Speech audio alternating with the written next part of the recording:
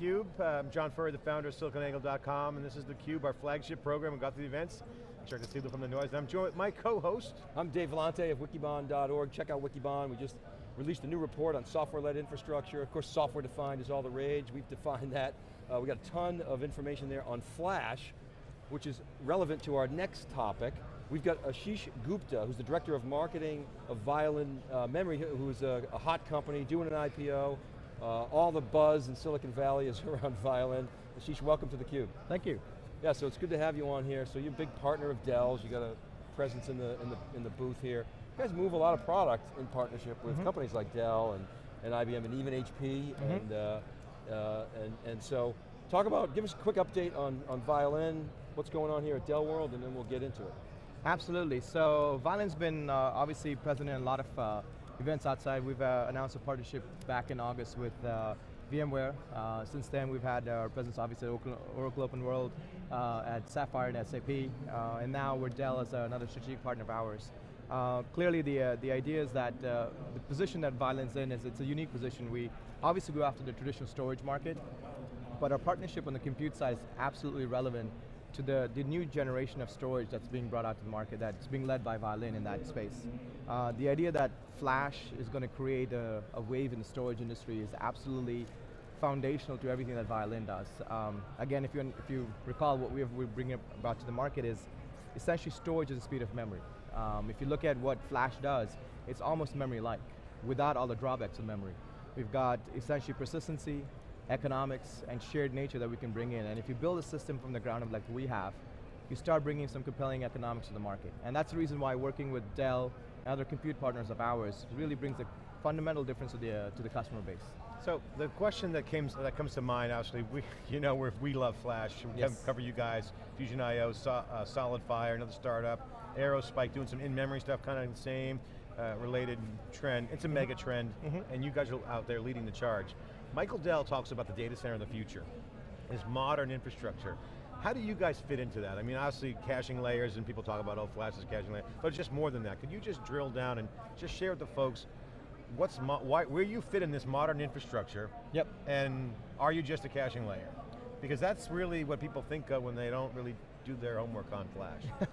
That's a great, great point, John. The, the idea of uh, Flash as a caching layer is actually a bit of a misnomer, and uh, if you think about really what the data center is today, it's, it's got a lot of components that are really taking it to the next level. We've talked about data center transformation over the last five, six years, and certainly on the compute and networking side, that's you know, uh, born true. Uh, the storage uh, element is sort of lagged behind everything else, and Flash has sort of brought in a little bit of a spice and excitement in that market. However, if you don't do things right, it kind of leads it to that special place called cache today, and which is read-centric workloads, et cetera.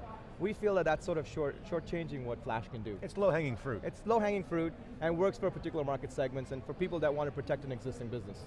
Clearly we're not you know, hampered by any anchors of a protect expanding this market that we're trying to you know, go after and you know, sustain our ecosystem around. We want to go out and disrupt that. And that's really what Flash is doing for us, is essentially allowing us to really take that media and really bring it out to market as a new tier of storage, if you will. And the idea is that memory and memory computing that we started talking about is, is interesting, but if you look at what people want to do, it often causes applications, other environments to re-architect themselves to fit in that ecosystem.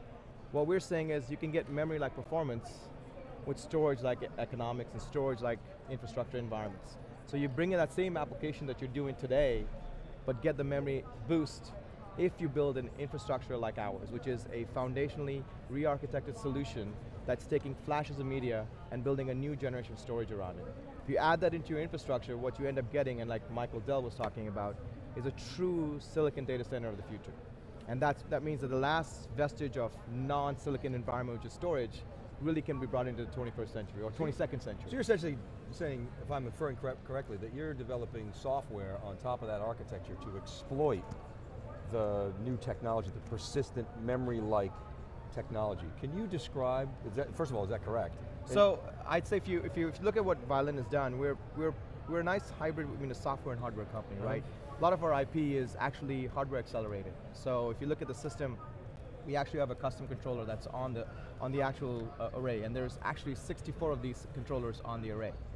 A lot of the IP that we do is embedded in that controller.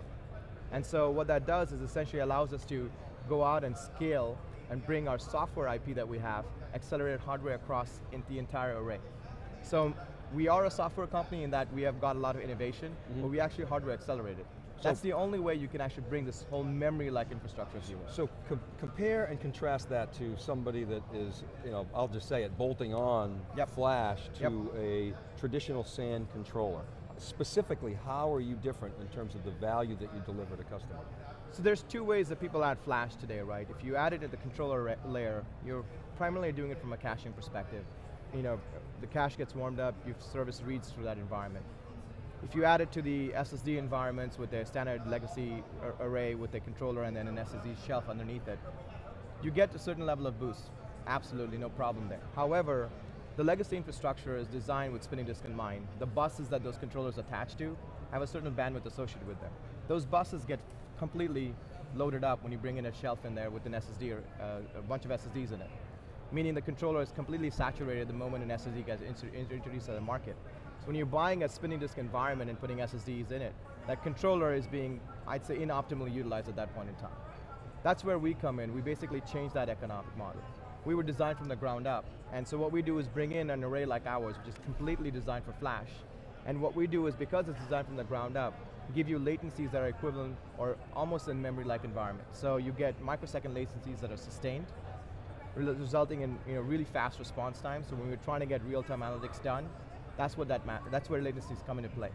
Now when you're trying to fit into an ecosystem, you want to be able to be storage-like. So we are a traditional SAN environment.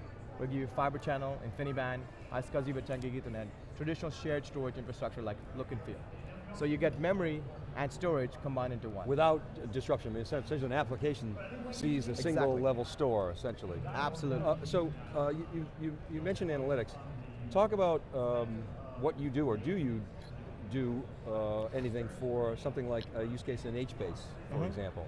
So, if you look at what people are trying to do in HBase or any big data environments, et cetera, it's really about getting access to information fast. And the idea that you know, what Violin is trying to address is really around two parts. Um, most of it is around latency, which is basically compute. If you look at compute utilization or CPU utilization, it's looking at really the I.O. wait times, that's, that's a big challenge today. Utilization is 100%, while in reality it says the, the compute's actually doing a lot less work. The processing time may be 30, 40%. Most of the other time it's waiting for I.O.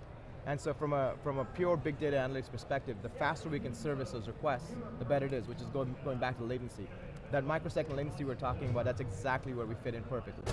The other part of it is how much of it can you do in parallel? And that's the IOPS discussion. And so when we look at what we do, our 3U form factor delivers a million IOs. That means there's enough parallel streams we can handle in, addition to the latencies, allowing people to process a lot more data. So we have many customers that are trying to do a whole bunch of real-time analytics in our environment, primarily because there's real value to it, and they're doing it without disrupting their environment. So how are customers um, getting value out of this? What's the, you know, what's the business case? I mean, flash is more expensive than, than disk, uh, but so people are gobbling it up. you know, yeah. help us understand that and, and where the business case is specifically. So uh, you bring up a great point, Dave. The economics is a, is a funny thing. If you look at traditional spinning disk environments, yes, it's a dollar per gig conversation. But you look at where traditional flash has been deployed, it's, it's, or flash has been deployed in traditional environments, it's been the caching concept. And it's been this expensive you know, thing you bring in to solve a particular problem. The way we look at it is that it's an application issue. We have SLAs that customers are trying to achieve and meet. And when you look at that environment and you say, okay, I've got a requirement to deploy a thousand desktops, or desktops that have to have equivalent or better than real desktop environments in virtualized infrastructure, that changes the game. Now you're looking at operational efficiency in the back end and saying, okay, I want to give a, an end user a desktop-like experience that is better or equivalent than the current desktop in a virtual environment that means that IOs become critical. And so you're moving the conversation from a dollar per gig to a dollar per IO environment. If you go on that route, we're absolutely the most economical solution that's out there. The second part of the value is that if you look at what the value uh, flash or, or legacy storage brings in or doesn't bring, flash changes the game from an application economics perspective. We can come in and reduce the compute resources that you need to run the same application. In fact, in some cases, we can reduce the actual application license requirements you have. So you have ROI that you can get all the way through from compute to application side that can be essentially calculated and added on to the OpEx value that we come in by reducing the legacy spinning disk infrastructure that you have to to front end the I/O requirements. Yeah, and, and start to deliver you know, bottom line productivity. Absolutely. All right, Ashish, we're out of time, Okay, but uh, yep. thanks very much for, for Violin coming by. Memory Systems, one of the hottest startups in Silicon Valley right now, really dominating the flash business. Uh, still private, um, going public soon, uh, as everyone's been speculating and talking about. Uh, Don Basile, uh, Rockstar CEO, we've been following his career for some time, and uh, congratulations on all your success. And uh, Flash is the future, it's the no-brainer, it is part of the modern infrastructure. We're covering it, we love Flash. I'm John Furrier with Dave Vellante, we'll be right back after this short break. Thank you.